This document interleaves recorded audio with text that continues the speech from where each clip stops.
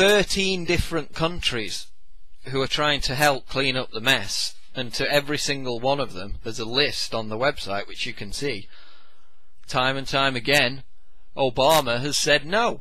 We don't want your help. We can deal with it. Even though they're not dealing with it, they're playing basketball and golf.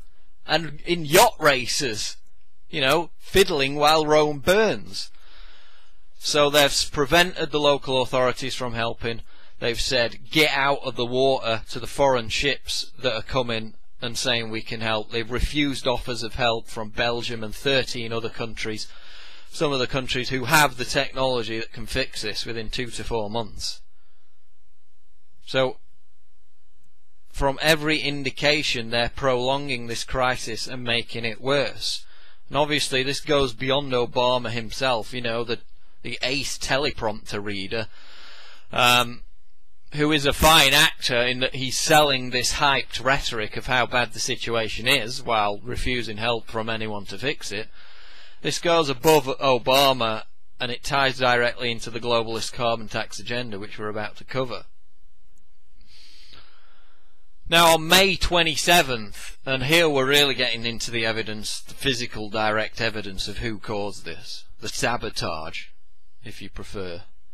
May 27th, and all these articles are linked, so, you know, if people who later see this on YouTube and say, oh, I don't believe that prisonplanet.com is not a trustworthy source, this is basically just a list, New York Times, CNBC, um, the London Times, several other publications which show that days before the explosion, we're talking days, BP, having been aware of cracks and problems with this oil well and this oil rig over the past several months, chose to use a risky, weak saltwater solution to seal the cement around the casing pipe um, in preference to a stronger, heavier drilling fluid, which which would, under any other circumstance, knowing that they've had problems with this rig, knowing that it's a safety risk, should have been used,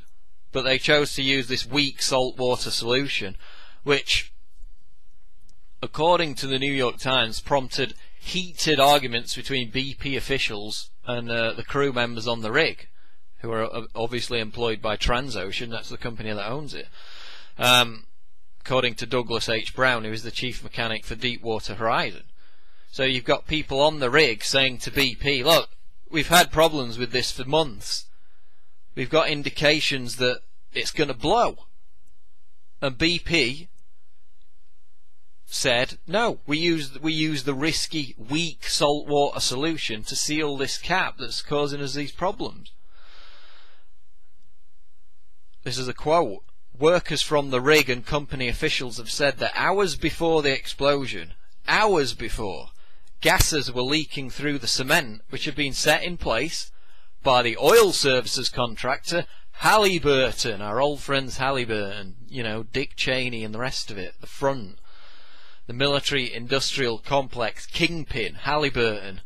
They were the ones sealing the well with this weak solution that all the rig workers said was a bad idea hours before it blew. This is Halliburton. Investigators have said these leaks were the likely cause of the explosion, reports the London Times. So Halliburton, hours before, improperly sealing this leak, which later, just a few hours later, causes the explosion. And uh, Halliburton is named in at least two dozen lawsuits filed since the explosion as being to blame for the disaster. Okay, so what motivation would Halliburton have for improperly sealing the well? Is it merely negligence? If it is, there still needs to be criminal proceedings. But the important thing about Halliburton is just 11 days before the Deepwater rig exploded, the Deepwater Horizon rig, Halliburton bought for a sum of $240 million a vastly experienced company that deals with the cleanup of oil spills. That's right, 11 days before Deepwater Horizon blew up after being improperly sealed by Halliburton, they had bought this company, Boots and Coots, which deals with oil spill cleanups. Now, take a rough guess who BP hired after the disaster to clean up the oil spill.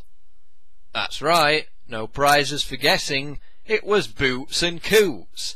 So now, with the oil spill cleanup contracts flooding in, Halliburton is making a killing off the oil spill that they caused. Now, is that suspicious? Does that do you think that requires any kind of inquiry or criminal investigation? To me, it's a smoking gun. And to others it's a smoking gun. A Raw Story did a big report on this, which we've linked to in the article. Quote, could Halliburton have known that an oil disaster was on the horizon and planned in advance to profit from it? News reports indicate they could have.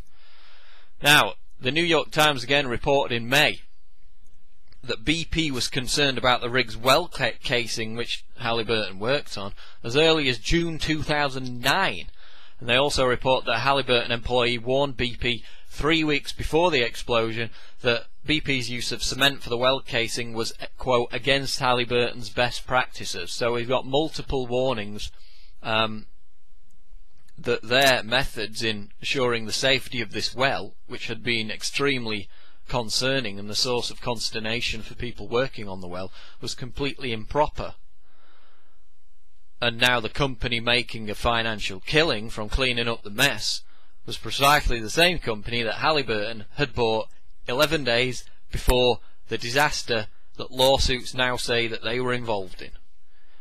Do you sense any notion of conspiracy, of motivation, cui bono?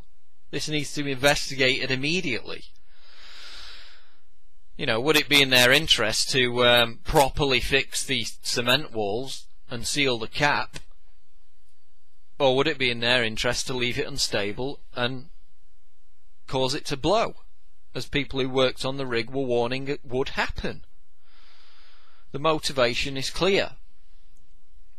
Now, BP itself was also aware of cracks in the oil well as far back as um, February, which coincidentally, at the same time, was when the former BP chairman, now Goldman Sachs chairman, Peter Sutherland, Bilderberg member, big supporter of carbon taxes and global warming, as well as BP CEO Tony Hayward, were busy dumping their stocks. So for months they knew that this rig was a problem and it could blow, certainly if they continued the unsafe procedures in fixing it, and at that time they were all dumping their stocks. Is, does somebody need to look into this or what? You know, is the governor of Louisiana, Florida?